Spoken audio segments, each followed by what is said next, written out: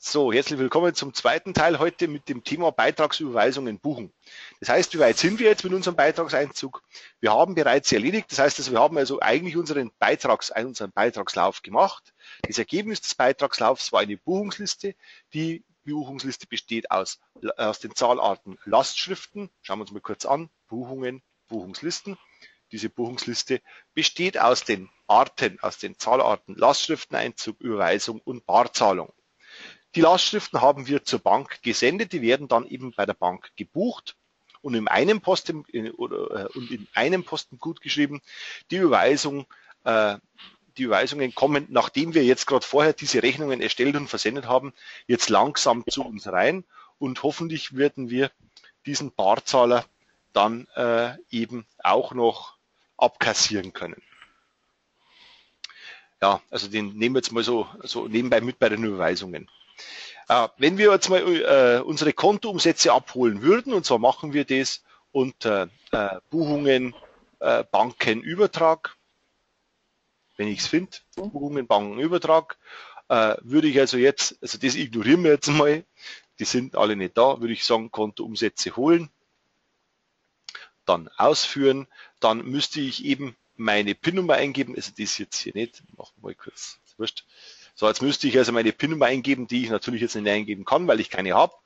Und dann äh, hätte ich also jetzt hier meine Buchungskontrolle aktualisiert. Das heißt also, alle unverbuchten Kontoumsätze wären äh, jetzt äh, innerhalb der Buchungskontrolle. Wir sehen, äh, wir haben ja bereits unseren Sammler eingenommen, das sind 38.123 Euro, das machen wir aber später. Jetzt kümmern wir uns mehr um die, die tatsächlich Beiträge überwiesen haben. Denn wir müssen jetzt eins realisieren, wir haben innerhalb der Buchungsliste, haben wir jetzt, wie ich vorher schon mal erwähnt habe, die Buchungen. Die Buchungen als offene Forderung. Also die Buchungslisten, alle Einträge in der Buchungslisten entsprechen also auch diesen Einträgen hier in den offenen Forderungen. Hier finden wir jetzt die Buchungen dazu. Und diese Buchungen, die sind jetzt eben noch nicht gebucht. Das heißt, wir haben noch nichts eingenommen, aber wir erwarten Beträge. Und das machen wir jetzt. Diese beiden Seiten bringen wir jetzt zusammen. Denn hier haben wir die, eben die entsprechenden Beträge als Eingang auf dem Konto gebucht. Ja, ich nehme jetzt mal einen Eingang vom Arndt Tim. Klick unten auf das Wort verbuchen und darauf öffnet sich jetzt eben eine Maske normalerweise, die hier so aussieht, mit offener Forderung verbuchen. Und wenn wir Glück haben, dann würde, das Glück haben, Entschuldigung, darf man so nicht sagen, im Normalfall würde hier unten schon Art Tim stehen.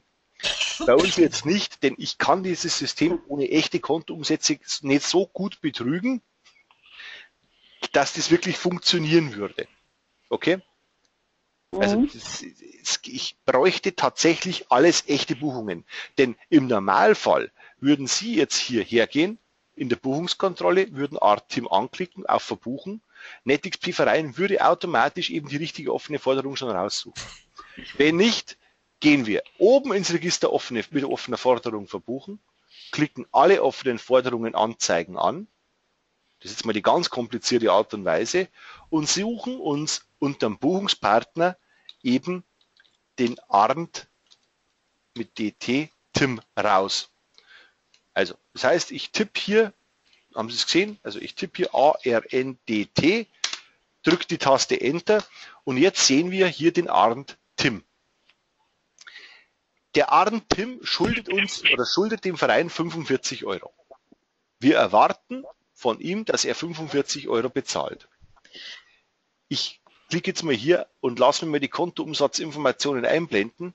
Der Arndt Tim hat uns 45 Euro überwiesen. Das heißt, wir wollen von ihm 45, er hat 45 bezahlt. Richtig? Ja.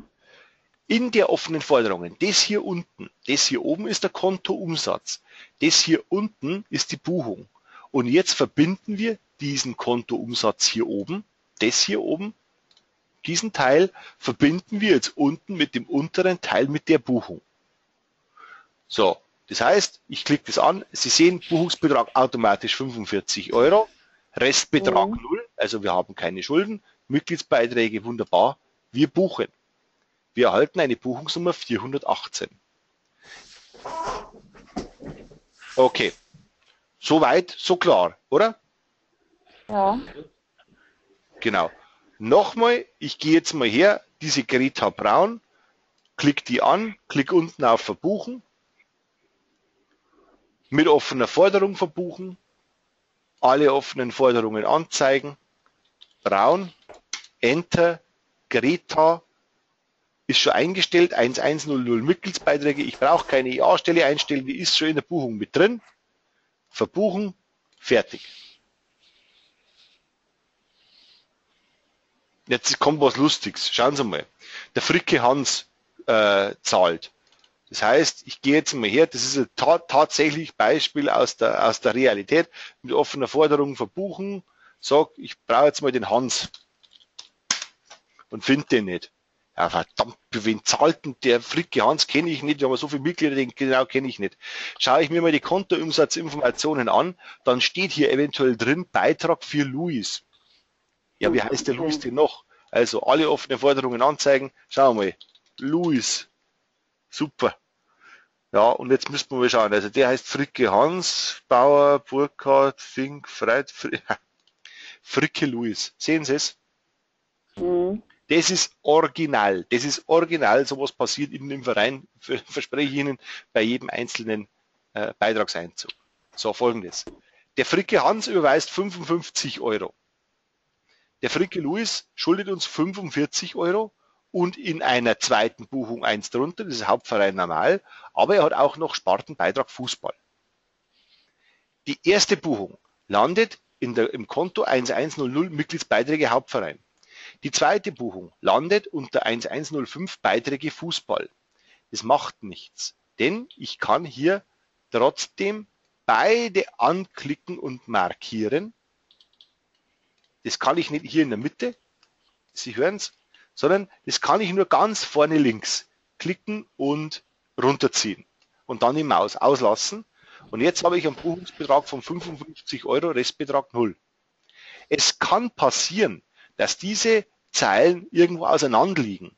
Dann müssen Sie folgendermaßen vorgehen. Und zwar klicken Sie auf die erste Zeile, drücken die Taste STRG auf der Tastatur und bleiben mit dem Finger drauf und markieren dann die zweite Zeile. So kann man zwei oder auch drei, vier, fünf, sechs Zeilen markieren, die nicht nebeneinander liegen. Jetzt, wie gesagt, Fricke Louis, markiere ich diese beiden Zeilen. Die sind markiert. Ich ist eingestellt auf Mitgliedsbeiträge und auf Beiträge Fußball. 55 hat er überwiesen. 55 erwarten wir, Restbetrag 0, verbuchen neue Buchungsnummer. Okay? Ja. So, und jetzt kommt nochmal was, auch genauso ein Fall. Nochmal eine Stufe mehr, und zwar überweist die Hirtreiter Eva. Das heißt, ich gehe auf die offenen Forderungen und suche dann äh, unter allen offenen Forderungen den Buchungspartner Hirtreiter. Den finde ich nicht. Dann schauen wir mal. Eva. Finde ich wieder nicht. Dann schaue ich mir den Kontoumsatz an und da steht dann drin für Noah. Wie heißt der Noah, wenn er nicht hier treibt? Also schauen wir mal, Noah, da habe ich jetzt insgesamt boah, ziemlich viele hier. Was würden Sie jetzt machen?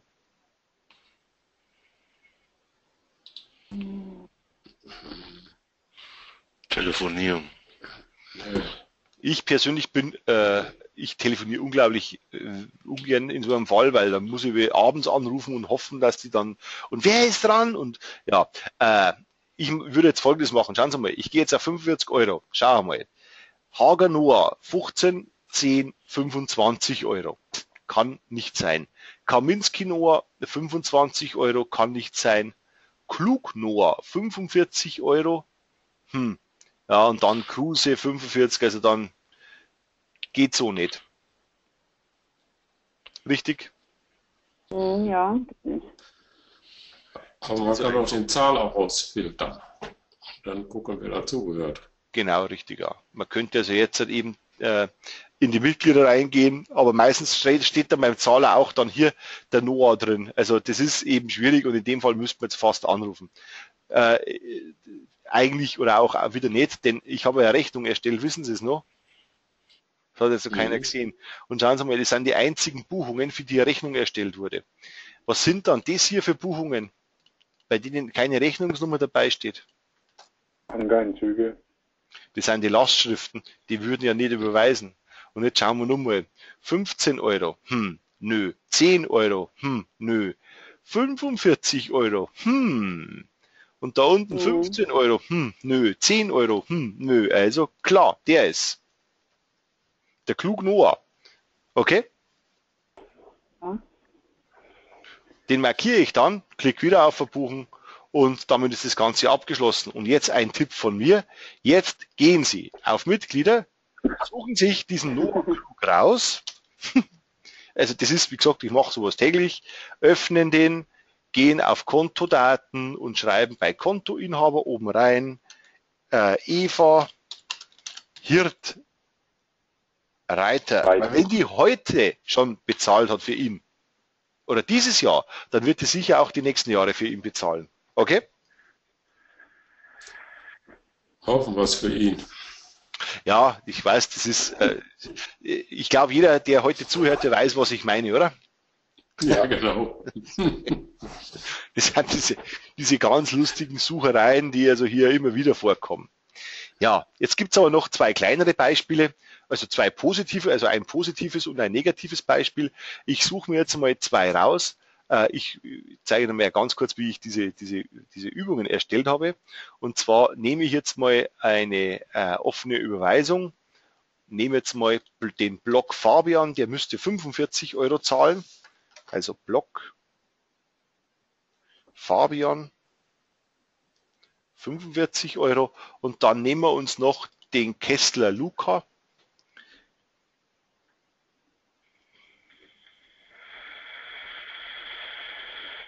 Und der müsste 90 Euro bezahlen. So, und wir simulieren jetzt halt eben zwei Kontoumsätze von der Bank, dass man mal sieht, wie ich das mache. Es geht ganz einfach. Ich gehe auf Buchungen Kontoumsätze, sage hier unten neuer Kontoumsatz, schreibe dann da rein Fabian Fabian Block Heute hat er bezahlt und zwar 45 Euro Beitrag. Nein, hat er eben nicht. Der hat jetzt mal nur 40 Euro bezahlt. Warum auch immer, gibt es immer öfters, dass die Leute einfach was anderes überweisen, als angefordert war. Und dafür überweist der Kessler Luca, der überweist uns 100 Euro. Gut, also, wir sind wieder in, in, unserer Buchungskontrolle und haben jetzt zwei neue Eingänge, einmal 40 Euro vom, Kessler, äh, vom, vom Fabian Block und einmal 100 Euro vom äh, Luca Kessler. So, wir schauen uns mal diesen Fabian Block an, klicken wieder auf mit offener Forderung verbuchen und wählen jetzt mal eben den Block aus Fabian. Also, er hat bezahlt 40 Euro, er schuldet uns 45 Euro. Sehen Sie das? Mhm. Restbetrag ja. minus 5 Euro, das geht natürlich nicht. Das heißt, also ich kann ihm natürlich, ich würde ihm natürlich gerne 45 Euro zubuchen, aber er hat ja insgesamt nur 40 bezahlt. Also können wir als Buchungsbetrag natürlich auch nur 40 einstellen. Richtig? Mhm. Weil ich kann nicht mehr buchen, als er bezahlt hat.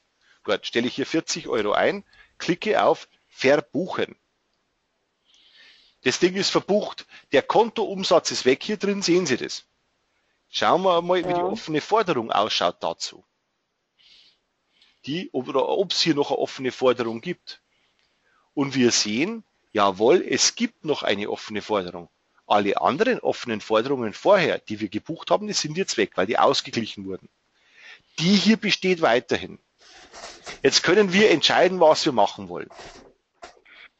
Vielleicht hat er ein bisschen später angefangen oder er war lang krank oder je nachdem. Also es kommt jetzt immer, immer auf, auf, diese, auf, diese, auf den einzelnen Fall an, sage ich jetzt mal.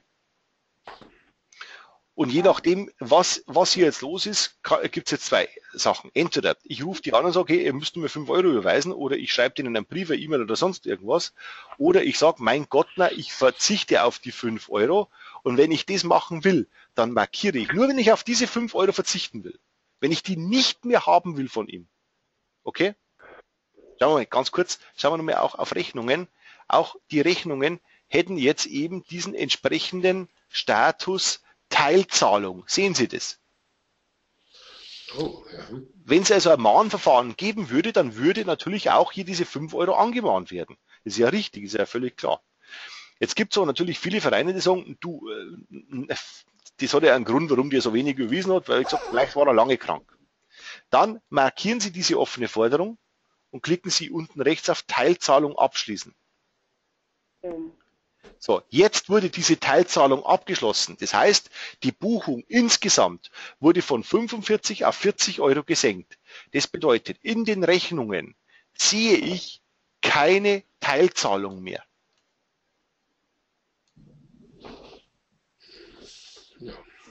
Ja, gut, das sehe ich jetzt noch. Ich müsste NetXP-Verein jetzt einmal neu starten. Und dann würde ich die nicht mehr sehen, äh, weil das, man geht nicht davon aus, dass man das also direkt nacheinander zeigt. Also ich muss einmal Datenbank reorganisieren. Okay, also das wäre jetzt eben eine abgeschlossene Teilzahlung gewesen. Und jetzt haben wir den zweiten Fall, und zwar eine sogenannte Überzahlung. Das heißt, dieser Luca Kessler hat also jetzt eben bezahlt, aber er hat natürlich deutlich mehr bezahlt, als er eigentlich zahlen müsste. Das heißt also, wir klicken jetzt wieder auf Verbuchen, suchen uns aus den offenen Forderungen äh, eben alle offenen Forderungen, suchen wir uns den Kessler raus und sehen, also die beiden müsste er zahlen, klicken markieren, Buchungsbetrag 90 Euro. Er sagt, du pass auf, der hat aber 100 bezahlt, er sagt jetzt schon, du Restbetrag werden 10 Euro werden. Okay? Ja. Aber die beiden hat er bezahlt, verbuchen. Ist erledigt. Und jetzt sehen Sie, jetzt haben wir hier eine Buchung über 100 Euro, ist der gesamte Buchungsbetrag. Jetzt bereits verbucht wurden 90 Euro. Was machen wir jetzt mit dem Rest? Spende. Richtig. Ganz klar, ist eindeutig eine Spende. Verbuchen. Und dann eben hier nicht 1100. Das ist jetzt eine Buchung ohne einen offenen Posten, weil für das gibt es jetzt keine Buchung, weil das ist jetzt ganz unvermittelt passiert, eben durch eine Überzahlung des, äh, des Mitglieds. Und jetzt buche ich jetzt auf 1101 Spenden ohne offene Mhm. Forderung und klicke auf Verbuchen. Jetzt habe ich eine Spende gebucht mit äh, 424. Okay. Diese Buchung ist weg und weil ich jetzt so ein ganz netter Mensch bin, weil ich jetzt netter Schatzmeister bin, bekommt er sogar von mir noch eine Spendenquittung. Genau, und das mache ich unter Buchungen Journal. Suche mir in meinem Journal die Buchung raus, diese 10 Euro Buchung vom Kessler Luca. Das ist hier. Mache einen Doppelklick drauf und klicke unten auf Spendenquittung. Dann sage ich, das ist der Kessler. Ja, der kennt ihn nicht. Sekunde. Nochmal schließen. Gehen wir nochmal ganz kurz her. Müsst ihr sagen, du pass auf. Das hier ist der Kessler Luca. Jetzt ihn. Gesehen? Jetzt ist die Mhm. Zeile grün. Und jetzt sagen wir Spendenquittung. Und jetzt sagt er sofort die Spendenquittung, also es wurde erfolgreich eine Spendenquittung erstellt. Und diese würden wir jetzt finden unter Finanzdaten und dann Spendenquittungen. Und hier sehen wir also einen Kessler Luca für 10 Euro. Fertig.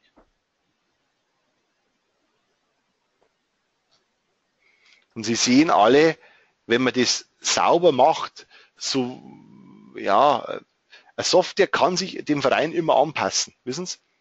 Natürlich kann man jede Software jedem Verein anpassen. Was das Ganze natürlich nicht einfacher macht, weil das Grundgerüst in jeder Software relativ starr ist. Oftmals ist es aber besser, wenn sich der Verein ein bisschen der Software anpasst. Denn glauben Sie mir, das ist sehr easy hier bis jetzt. Oder war das schwer? Nee. Genau. Ja. Und jetzt kommt noch einer, so ein Held, und zwar kommt jetzt noch äh, unser Barzahler, der steht plötzlich vor uns und sagt, du, äh, ich muss mein, wir sehen den Lauf und sagen, oh, bleiben wir stehen hier. Ähm, du musst noch, du musst noch deinen Beitrag zahlen. Und das geht dann noch einfacher. Und zwar steht der vor uns, wir holen uns Buchungskontrolle, offene Forderung. Schauen wir mal, wo ist denn die offene Forderung diesem Barzahler gegenüber? Die ist hier. Buchungsliste von, Buchungskonto Barkasse, Barzahlung, Bartel Erik, kassieren wir 45 Euro, macht man einen Doppelklick drauf der weiß schon an die Kasse, haben wir eingestellt, 45 Euro. Der sagt, natürlich haben wir jetzt auch 45 kassiert. Der sagt, natürlich gehört es auf Mitgliedsbeiträge. Der weiß alles, verbuchen. Danke, Erik, du bist deine Schulden los und jetzt drücken wir ihm diese bereits bezahlte Rechnung in die Hand. Fertig. Mehr ist es nicht. Und Sie sehen, das ist easy, das ist reine, ja, das ist reines Ausmerzen. Okay. Gibt es dazu zu diesen Überweisungs- oder Barzahlen noch Fragen? Nein. Okay. Dann